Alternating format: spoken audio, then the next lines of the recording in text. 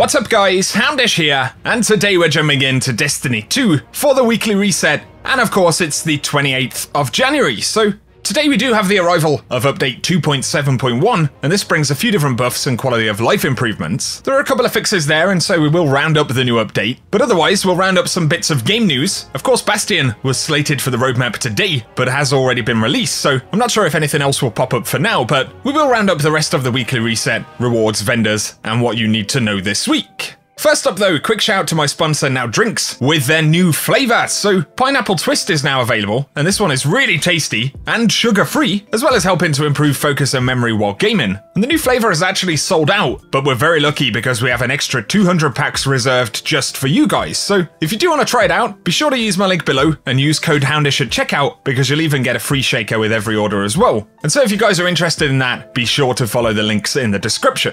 Now though, getting into Destiny 2, and of course update 2.7.1, which has dropped today. I'll link the full patch notes down below, but of course some of the highlights would include that Bungie have fixed a problem which prevented Eris from granting the final lore entry from Shadowkeep. That'll be pretty interesting, but also, the Green with Envy quest should now progress properly, that issue with the playing with odds emblem for Gambit, and then for rare Black Armory bounties, of course, Bungie have improved the drop rates, so the chances actually increase as you complete weekly and daily bounties. On top of this, you're guaranteed to drop one from bounty completion after 5 days if completing all of the Ada-1 bounties, so maybe if you don't own Izanagi's Burden, that'd be a bit of a shortcut that you can use now. And then otherwise in the update, for the sandbox they fixed a problem where the heavy-handed mod could trigger from Telesto bolts, and the bugs that allowed Wormgods and Winter's Guile, as well as Synthoceps to actually retain all of their damage buffs. And once the update's gone out, Bungie will allow players to equip Wormgods and Winter's Guile once again. Bear that in mind, as well as the fact that you can now shortcut directly to the roster by selecting any empty fireteam slots that you have. And then Bungie have buffed Breakneck to increase the damage with Rampage stacks 1 and 2, as well as reducing the screen shake on Hardlight. So those are some of the highlights from the update, but of course those full patch notes are linked down below.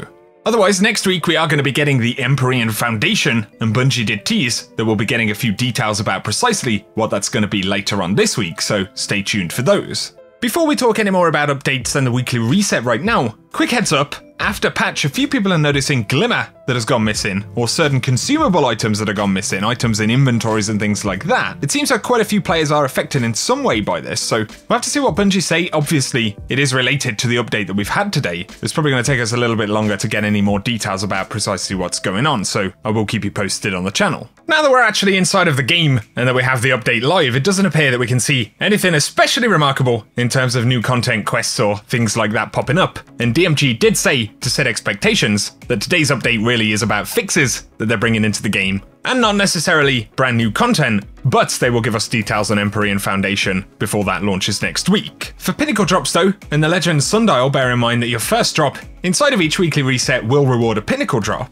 But then for Pinnacle drops on the moon, of course, we have our Nightmare Hunt, so we've got Fear, as well as Rage, and then Isolation. This week's Raid Challenge, of course, in the Garden of Salvation, is the Leftovers Challenge, so bear that one in mind.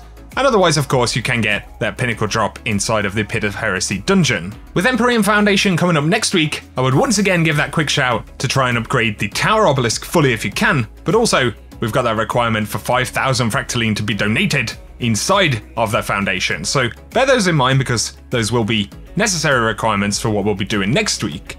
Inside of Eververse though, Bungie are featuring some new Void emotes, so you can pick these up for specific classes for 500 silver if you're interested. And then otherwise, of course, we do have other featured items for silver on the front page. But then, of course, we also have the Bright Dust section on the front page. So we've got the Facepalm emote, as well as the Saint's Invocation exotic ship right there. Something interesting to take a look at. The Vex Gate Arrival Transmat effect. And then a pretty cool shader that I haven't spotted before right there. Maybe something you want to try and pick up, and that name looks pretty crazy. But otherwise, there is, of course, the main Bright Dust page. So we've got the Galloping Knight emote that was up for last week uh, with silver, or for silver, sorry. Once again, Saint's Invocation, and then the Viced shell, which is pretty cool, Foundry themed shell you can pick up for Bright Dust. We've got the Foretelling ornament for the Bad Omens, the Ain't My First Rodeo ornament for the Chaperone right there, which is a pretty cool looking one. Good that we can get that one for Bright Dust. Then we've got the chest piece right there for the Titan class, and the Mindjack projection, as well as the Sunglasses projection, the Up in Smoke, the Royal Welcome shader, and the Circadian Chill shader right there as well. The weekly flashpoint is going to be over on Nessus, But then the Ordeal Nightfall, of course, with the potential of pinnacle gear, as well as powerful stuff, actually takes place on the moon, so that's going to be the Scarlet Keep. And then for our traditional Nightfalls, we've got Strange Terrain right there. That can drop the Braytech Osprey. And then we also have Will of the Thousands, and this can randomly award the Worm God Incarnation Transmat effect. And then finally Broodhold, which doesn't actually have an exclusive drop, as it was a previous Strike exclusive. To our legacy content though, we have the Menagerie with Arcsinge, Blackout, and Grenadier in the normal mode, and then Heroic gets Extinguish, Grenadier, Famine, and Solar Singe. If you're curious about Prestige mode for Year 1 raid layers, we do have Prism for the modifiers, as well as Arms Master, with Kinetic Hand Cannon, Energy Sniper Rifle, and anything in the power slot. However, if it's Reckoning that you want to jump into, today we've got modifiers of Arcsinge and then Brawler. If you are completing any Year 1 and 2 Legacy content, for the Escalation Protocol, Nur Abath, the Crest of Xol, will be the boss this week, and that means you have a chance to get the shotgun when you take the boss down. But then, of course, we have the Dreaming City, where this week's Ascendant Challenge is going to be in the Forfeit Shrine, which is accessed via Garden of Esila. As always, if you need the location or gameplay for that one, I will run it at the end of the video. But otherwise, for today, guys, that's everything we've got to round up in this initial reset. I'll keep you posted with any additional stuff we get about the update, and then all of the new stuff later on in the week when Bungie talk about some of the events we'll get in February. So if you do enjoy the content, be sure to hit that subscribe button. You can also turn on notifications so I can keep you up to date with everything related to the game. Otherwise though, thanks as always for tuning in guys. Once again, feel free to check out that NAU Drinks link for the exclusive new flavour but otherwise, I appreciate you tuning in, and I hope you have an awesome day.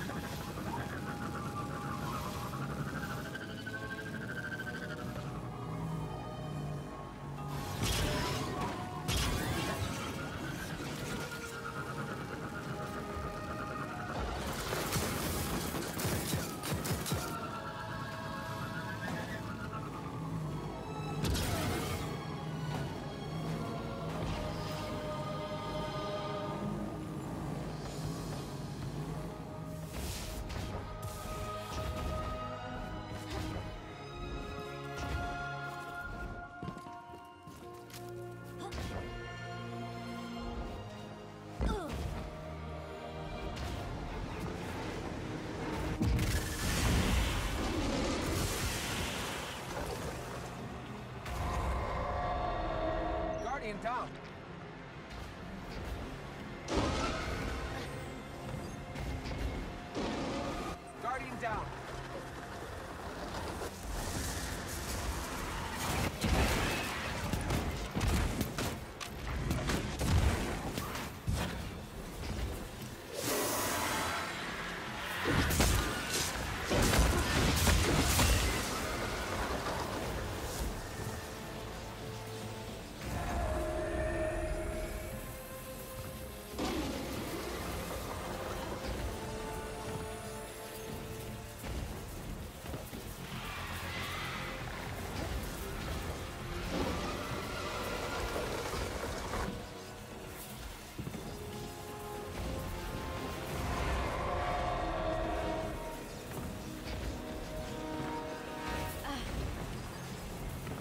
Guardian down.